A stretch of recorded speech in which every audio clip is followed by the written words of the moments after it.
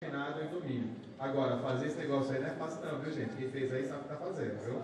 Olha, me desculpe, eu sou um chato. Não é ladrão de galinha, não. Não é ladrão de galinha, assim. Não, não, não. Eu sou um chato da vez, Edmar, porque nós temos horário para os alunos voltarem para a sala de aula, são 8 horas e 15 minutos, nós precisamos já nos encaminhar.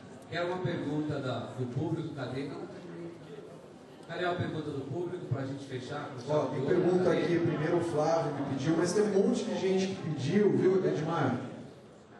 Professor, Edmar, é, vou pedir para o senhor deixar os e-mails para os alunos, né? Porque tem muita pergunta aqui, então eu acho que vai chover e-mail amanhã, né? Amanhã vai ter viral. E lembrar para os meus alunos aí, eu abri o debate no portal, né? Então vamos aproveitar para utilizar os conceitos aí. Então, só uma última pergunta, acho, né, já que aqui. Isso, aproveitar que o pessoal pediu ali também, se for rapidinho. Isso, é que aqui eu estou vendo as ordens, né? O Flávio foi o primeiro a. Vamos lá. Obrigado. É, mais uma vez, boa noite. É, em primeiro lugar, eu queria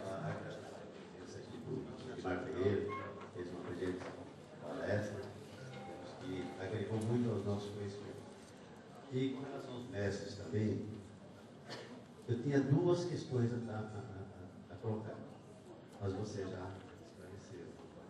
Aí eu fiquei sem a munição. Porém, não, não, É, peraí. então tá bom, tira o Mas só microfone. mais um minuto. Pegando rapidinho. O pessoal gancho está do- demandando. do professor Alexandre com relação à INCA, ou à Activia, é, eu queria falar a respeito do nome, marketing viral. Dá esse próprio nome, eu sou favorável a que digam mal ou digam bem, mas sobre mim. Desculpa aí a opinião simples e modesta do aluno que está agora chegando, mas era sobre isso que eu Bom, acho que dá tempo aqui, né? Vamos lá, um. Boa noite. Boa noite, é, sou o Lucas, aluno da Comunicação Social, Publicidade e Propaganda.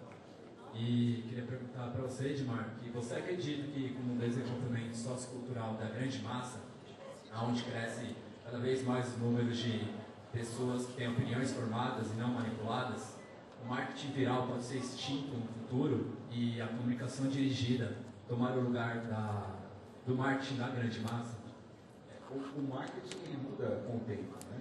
É, tem uma cena é, do filme que teve o Jim Carrey, eu não me lembro o nome, vocês vão lembrar aí, é, onde ele, é- ele está isolado numa cidade, como é o nome? O show de Truman, exatamente. Você vê que aquelas, aquele estereótipo onde a esposa dele mostra a embalagem do produto, aquilo já vendeu, já vendeu muito, aquela maneira de expor. As estratégias, elas mudam aí, com certeza com o tempo. Hoje entra no mercado e você sabe se a pessoa é rica ou pobre pela cor do carrinho. Carrinho monocromático e policromático. O monocromático é arroz, arroz, arroz, feijão, feijão, feijão, açúcar, açúcar, açúcar. Então você identifica isso. As estratégias de marketing mudam com o tempo. E eu acredito sim que a rede social ela influencia hoje no marketing. Claro que a divulgação de eh, campanhas de marketing viral e o maior divulgador disso são as próprias pessoas. Então o marketing assim direto ou o boca a boca é o marketing viral. Aí nós estamos retornando aquele marketing boca a boca dentro da própria internet. Então eu acredito sim que há um grande desenvolvimento do marketing aí com, com essa tendência. Frente do Daniel Serrano, suas, dois minutinhos para suas considerações finais. Pedir dois minutos para o professor é uma maldade. Eu me.